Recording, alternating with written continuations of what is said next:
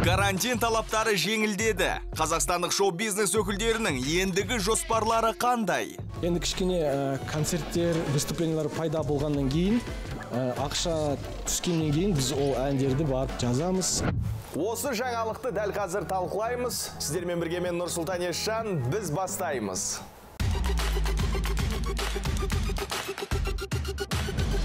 Осы аптадан бастап қазақстанда карантин шаралары жеңілдейді. Бұл еліміздің бас санитары шығарған жаңа қаулы. Осыған орай отандық өнер өкілдері талай жоспар құрып үлгерген көрінеді. Мәселен серік ибрагимов республика сарайы толық ашыла сала концерт беруді көздеп отыр екен. Бұйырса республика сарайы ашылғаннан кейін бізде енді отыратын кісілер де көп болады ғой. Тек қана тұратындар емес сондықтан да ә, концертке жаңағы жабық жерде өткізілетін болып жатса міндетті түрде береміз. Енді ол ұзақ созылатын болса ә, осылай ашық аспан астында беруге болады. серіктен өзге де өнер өкілдері карантиннің жеңілдегенін күткендей. Жаңа шығармашылық жаңалықтарға білек сыбана дайын отыр. Олардың бірі ринго тобының әншісі әділжан омаров. Әділжан жеке әндер жазып клип таспалауды жоспарлап жүргенге ұқсайды. Толығырақ тілші бейнематериалында.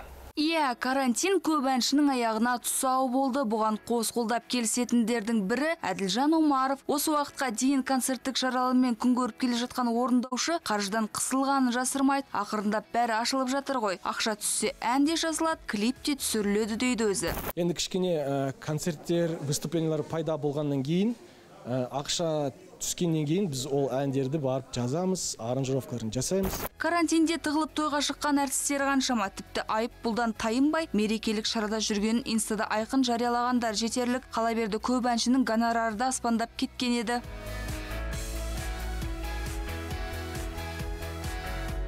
Ал табысын тоймен тауып жүрген топтардың бірі меломен бәрін басынан бастап жатырмыз. Карантин көп дүниені өзгертіп жіберді дегенді айтады. Олар осы шектеулердің толықтай шешілуін күтіп жүр екен. Шындап келсек. Карантинде енді біраз нәрсе түсіндірді негізінде. Жақындарымыздың уақыттың да бір қадірін дұрыс бағаламайды екенбіз карантинде көп картиналар таспаланған күйі жарық көрместен мұрағатта сақтаулы тұр кинопродюсерлер зал толық ашылсын лента өзін өзі ақтасын дейді Я, Нұрбек. Очень приятно, Марсель. Әйел емес, әйел адам емес бұл. Еркек біз сияқты мужик. ал жүрек жұтқан продюсер тимур бақтыбаев болса карантин кезінде тоқтамастан кино түсірген болатын. Тимур тәуекелге барудан қорықпайтынын айтады. Тіпті папа по неволе любовь на миллион ленталарынан кейінгі хотя бы кинода деп аталатын үшінші туындысын залдардың толық ашылуын күтпей тұсауын кесуге әзір екенін жеткізді. Екі кином да осы карантин кезінде шықты. Енді тәуекелге барып осы киномызды шығарып ә, жаман емес аллаға шүкір екі кином да ә, өзін ақтады ә, азғантай ақша табыс таптық енді сол азғантай тапқанымен мына үшінші киномызға ә, қайтадан салып осы киномызды түсіріп жатырмыз қорқыныш жоқ ондай Я женат.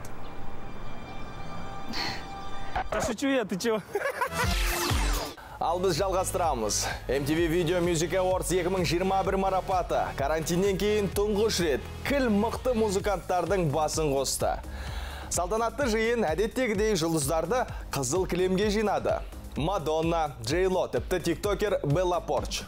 Арнаулы жолақта ерекшеленіп қалғысы келгендер қарасы көп. Нью-Йорк қаласының қақ ортасында орналасқан Барклайс Центр стадионы жұлдыздарға лық толы. Пандемияда ауқымды шараларды әбден сағынған өнер өкілдері бұл кешке ұзақ дайындалғаны көрініп тұр.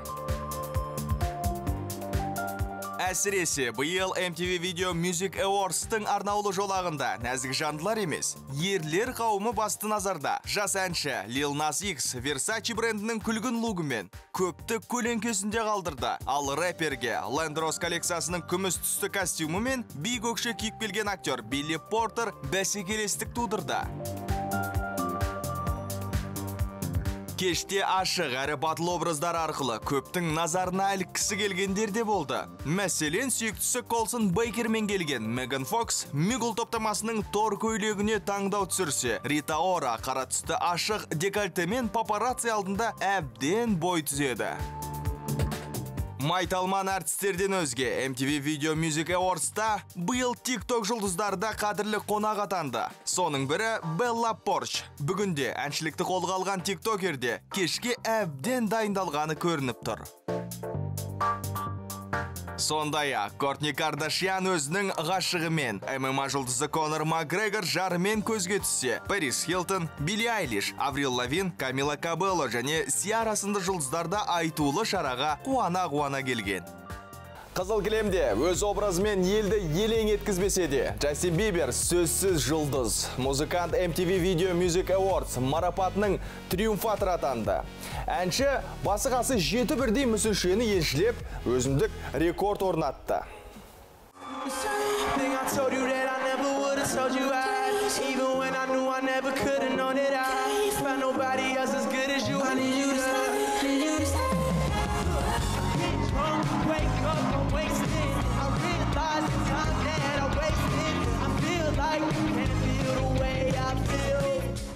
Бибер ең басты жүлде жыл әншісі атағына лайық деп танылды. Көрерменнің көзайымына айналып, YouTube'да талай қаралым жинаған Peaches бейнебаяны болса, жылдың үздік поп видеосы номинациясы бойынша топ жарды.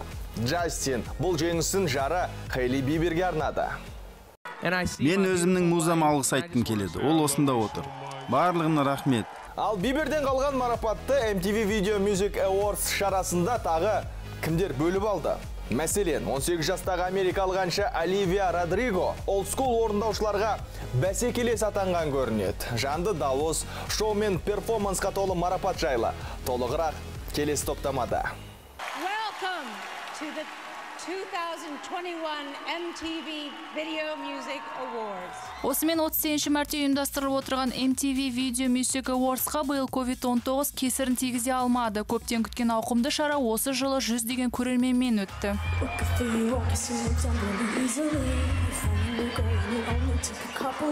Музыка саласының кіл мықтыларын анықтайтын марапатта биыл жас әнші Оливия Родриго топ жарды. Үш бірдей номинация бойынша үздік шыққан өнерпаз жылдың жаңа әншісі атанса Driver's License хиті ең үздік поп трек және үздік жыл перформансы деп танылды.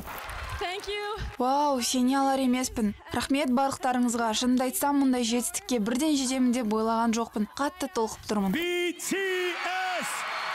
Оңтүстік корейлік BTS ұжымы да әйгілі марапатта үш бірдей мүсіншеге ие болды. Кей-поп жанры үздіктерінің баттыр әні жаздың хиті үздік кей-поп видео атанса, бойзбендтің өзі жылдың үздік тобы. Алайда арнау жүлдені сахнадан алып кете алмаған мемберлер Кореядан сәлемдеме жолдады. әр жылда біздің еңбегімізді бағалап жатқан шараға алғыс айтамыз ең бірінші біздің тыңдармандарымыз армияға рахмет сіздер күллі әлем бойынша бізге шабыт сыйлайсыздар MTV Video Music Awards'та дәл осы жылы Lil Nas X та назардан тыс қалмады. Жас музыкант Монтера бейнебаян мен жыл видеосы үздік режиссерлық жұмыс және үздік визуалды эффект номинациялары бойынша мүсіншені еншіледі. Билли Айлиш та айтулы кештен құралақан қайтпады. Әншінің Your Power туындысы үздік латын видеосы және әлеуметтік тақырыптағы үздік видео атанды. TikTok арқылы күллі әлемге танылған Джорджа Кат Сизе мен Kiss Me More үздік коллаборация статуэткасын жеңіп алды. Сондай-ақ Бруно Марс, Бейонсе, Гайри Стайл және Трэвис Скотт та бұл шарада бір-бір марапатты қанжығасына байлады. Карантинде біраз салмақ жиған әнші Артур Давлетьяров арықтауда анықтап қолға алған екен. Таңертеңгілік жүгіру, дұрыс тамақтану мен зиянды тағамдардан бас тарту бүгінде оның басты мақсаты. Утро, дорогие друзья. А, Поймал себя на такой мысли, что мне нужно похудеть. И поэтому я думаю, сделаю себе такой рацион, то что без сахара и без мучного. И сколько я продержусь. Иә, биыл 10 жыл қатарынан ұйымдастырылып жатқан Алматы марафон біраз жұлдызға мотивация берген рас.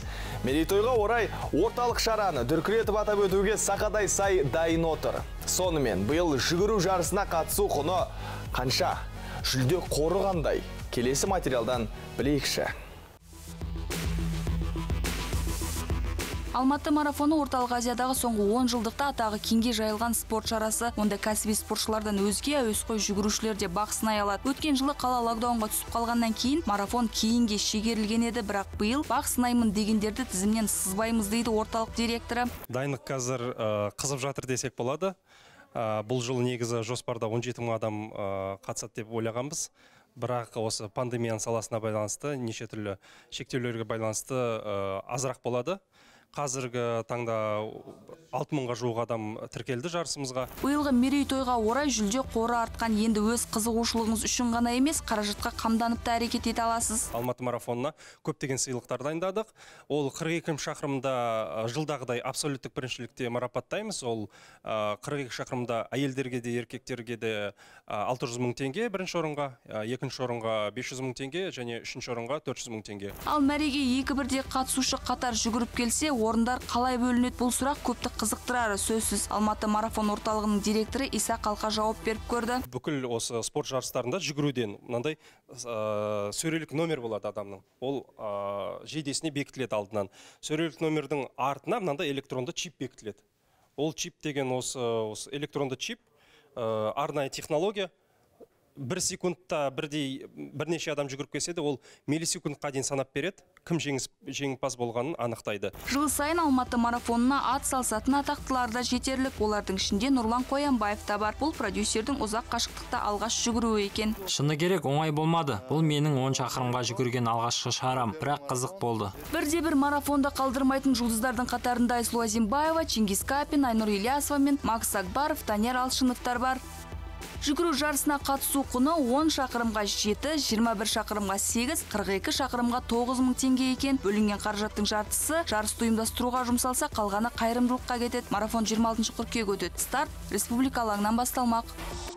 Хамяк Ресейде танымал қазақстандық тиктокер неліктен шетелге кетті. қасында мықты мықты тиктокерлер көп қой Дәл осы және өзге де жаңалықтар жайлы аз ғана уақыттан кейін, яғни жарнамадан соң білесіздер.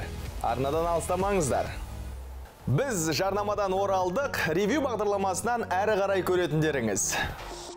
Хамяк Ресейде танымал қазақстандық тиктокер неліктен шетелге кетті. қасында мықты мықты тиктокерлер көп қой Таяуда ғана ТМД-ның ең танымал тиктокер атанған Хамяк енді Comedy Club бағдарламасына шақырту алды.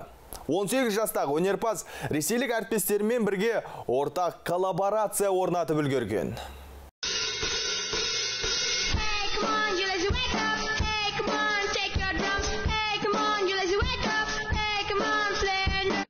Иә, TikTok талай жастың жұлдызын жақты. Бір ғана видео сізді рэкке шығаруы әбден мүмкін. TikTokты да бағындырып үлгерген блогер NNN аталмыш елде әйгіленудің әдісін түсіндіріп берді. Тыңдап көрейік. кез келген адам миллион просмотр жинай алады смело сол үшін енді сол жаққа барады да миллион просмотр жинап мәз әр нәрсе түсіріп танымал болып жатады бірақ енді тикток жақсы ғой негізі қазір қасында мықты мықты тиктокерлер көп қой Музыканттар үшін TikTok әндерін жарнамалау құралы. Мәселен, колориттің аталмыш жел арқылы танылғаны бәрімізге белгілі. Дегенмен TikTokқа арнап трек жазу қаншалықты дұрыс. Келесі сюжеттен білейік.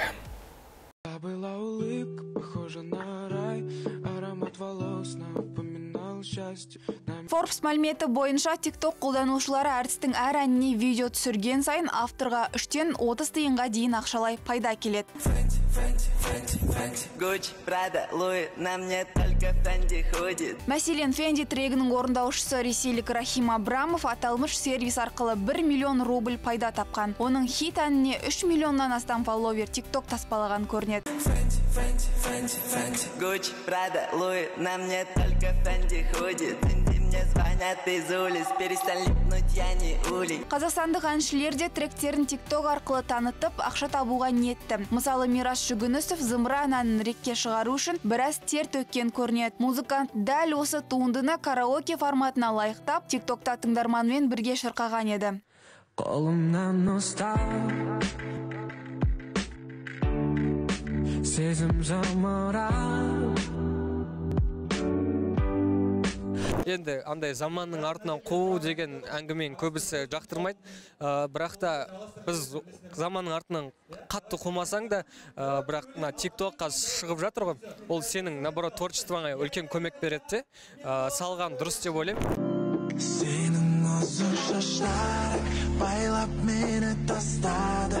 Егер қасымда болсаң маған керек басқа кім әнші тұрар тректерін тикток арқылы танытуға қарсы. Тіпті аталмыш платформаға арнап ән жазатын әріптестерін сынап тастады. Тикток арасында кіремін бірақ мен типа аны бар ғой именно тренд тиктокқа арнап жазатын. Кішкене соған қарсымын ол кішкене творчествоны убивать ететін сияқты. Өйткені тиктокқа арнап жазған өлеңнің 15 секунды ғана дұрыс болады. Ең қызығы тиктокта 1 миллион оқырманы бар әнші садраддин де аталмыш платформаға арнап трек жазуға қарсы. Тиктокқа арнайылап тиктокқа шығарғанға мен қарсымын себебі өлең уже. Мәнсіз кетеді. Дегенмен қазақстандық джастин бибердің әндері тиктокта кеңінен танылып трендтен түспейді. Душа моя полна, любви полна, полна. Душа моя твоя навеки, навсегда. Экс-кешулік әнші Элизат Берікова шоу-бизнестен түбегейлі кетпек пе? қазіргі сәтте маған ол қатты қызық болып тұрған жоқ шынымды айтсам. Әншілік. Соңғы кездері басынан дау арылмай ақ қойған Бритни Спирс әлемнің ең ықпалды адам атанды. Әйгілі тайым басылымы 2021 жылдың беделді тұлғалар тізімін түзген еді.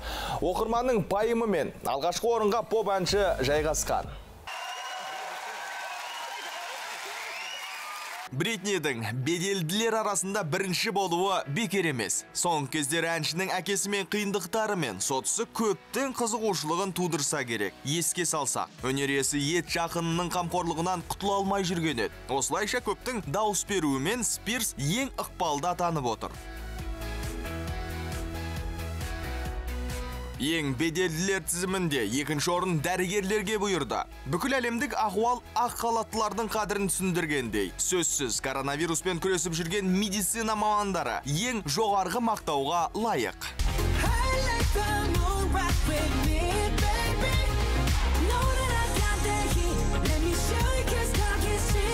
Ықпалдылар арасында үштікті оңтүстік корейлік BTS тобы түйіндейді. Атағы шартарапқа тараған ұжымның жер жағанда фанаттар армиясы күн санап артпаса кеммек емес. Ал музыкалық чарттардың көшін бастау жігіттерге бұл күндері қалыпты құбылысқа айналғандай. Ал Нью-Йоркте әлемнің сән қуған сылқымдарын жинаған Fashion Week өз мәресіне жетті. Әсемдік апталығының соңғы нүктесін Tom Ford бренді жақсылап тұрып қойғандай. Мұндай көз тартарлық финалды ешкім күтпегені анық. Минимализмге жол жоқ жасасын жарғын образдар. Дәл осы сөздер Марк Джейкобстың жаңа топтаманы әзірлеуде басты ұранына айналғандай. Том Фордтың су жаңа коллекциясы есте қалары сөзсіз. Атлас мақпал жылтыр маталар мен жарқын түстер. Әйгілі бренд келер жылдың көктем жаз маусымын осылай көреді. 90-шы 2000 жылдар сәннен сыр шертетін коллекцияда кең етекті және қысқа балақты шалбарлар, түрлі пішімдегі жейделер көптеп кездеседі. Жаңашылдыққа толы топтаманы Джиджи Хадид, Джоан Смолс сынды әйгілі сәнбикелер таныстырды. Ал фэшн кешегі көңілді атмосфера көпке ұнағаны сөзсіз. Еске салсақ, Том Фордтың туындыларын Джулиана Мур бастаған жұлдыздардың өзі алдыңғы қатардан тамашалады. Назым Әбілдина ақ келін атанды. Кешу тобының экс мүшесі мұсылманша некесін қидырып, жағымды жаңалығын сүйіншілетті. Алайда, Назым жарының есімін жұртқа жария етуге асығар емес. Десе де, бекеш ғашығы сыйлаған бағалы тартулар мен шоқ-шоқ гүлдерін әрдайым желіге жүктеп отырады.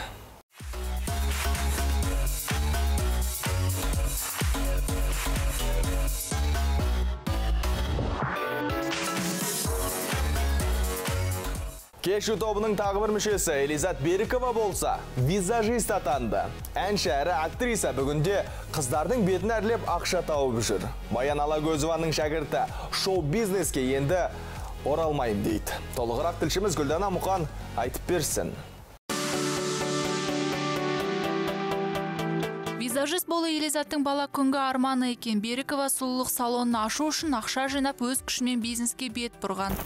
жалпы бұл ақша табу көзі емес негізі менің а, өзімнің нем өз жағымнан ақша табу үшін ашқан жоқ мен бұл бизнесті бұл бизнесті ә, мен өзім жасаған сүйікті ісім болғаннан кейін соны іске асырамын деп шештім. Осылайша кезінде сахнаға елизатты визажистер дайындап жіберсе бүгінде әншінің өзі мейкап әртіс атанып отыр. Экс кешілік бике жұлдыздарды ғана емес қарапайым қыздардың да беттерін әрлейді. Бәрі инстаграм желісі арқылы келіп жатыр. Өтірік емес біреу мені көру үшін келеді келіп суретке түсіп кетіп жатады біреу сынап келіп жатады. Қайсы көрейінші жақсы ой ма екен қандай екен деген сияқты. Ондай кісілерді де көріп жатырмын естіп жатырмын. Ә, сондықтан бірақ ә, бұл менің еңбегім. Жеке бизнеске бет бұрған берікова өнерге қайта оралмауым әбден мүмкін дейді. Кезінде дүркіреп тұрған атағына қарамастан әнші шоу бизнеске деген қызығушылығын жоқтығын айтады. Қазіргі сәтте маған ол қатты қызық болып тұрған жоқ шынымды айтсам. Әншілік бағыты ә, мүмкін алда болар. Бірақ жаңағындай бір клип түсіріп қойып жіберіп қойып бір ән жазып қойып бір жарты жылда ол дұрыс емес деп ойлаймын. Оның үстіне кешуден кеткелі елизат продюсерсіз өнер көрсету қиынға соққанын жасырмайды. Берікова мақсат қызының қадірін енді түсінгендей. Студияда бір дұрыс айта алмай қалған кездерде бағым мақсатқызы айтатын сенің аузыңа шайнап беріп тұрған нәрсе неге жұта алмай тұрсың? деп. Солай ұрсады. Бірақ қазір қарап тұрсам шынымен де айтылған нәрсе екен. Елизат сондай ақ соңғы кездері актриса ретінде де танылып жүр. Берікова толық метрлі картиналар ғана емес телехикаяларға да шақырту алып отырады. Бірақ ол ұсынылған әр рөлді күйеуімен талқылайды екен. Ол сұрайды менен міндетті түрде. Қандай сахналар бар? Анандай сүйісетін сол баяғы құшақтасатын сондай сахналар жоқ па деп міндетті түрде сұрайды. Мен қазір өзім де басын басында сұрап алатын болдым күйеуіме айтпай жатып сонда мен саған ғашық болғанмын маған ба? Бірақ оны ешқашан білмеген. Өздеріңізбен келесі эфирге дейін қоштасамыз. Амандықта жүздескенше. Сау болыңыздар.